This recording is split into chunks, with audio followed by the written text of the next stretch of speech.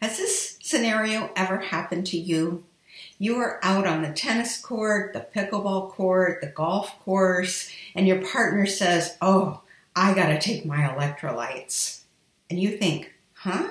What are electrolytes? And do I need electrolytes? In this nutrition tip, I'm going to tell you what electrolytes are and how they function in the human body.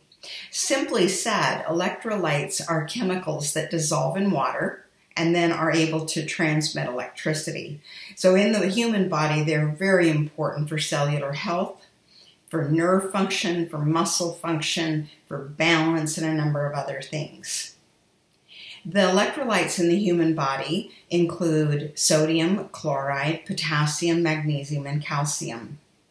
And calcium, sodium, and potassium are the three most important electrolytes. Your muscles need them to contract. And if they're out of balance, you may feel dizzy and you may also have those muscle aches and pains. So if you're exercising and you're sweating, the first thing you need to do is hydrate. So sit down, drink some water, and make sure you get hydrated.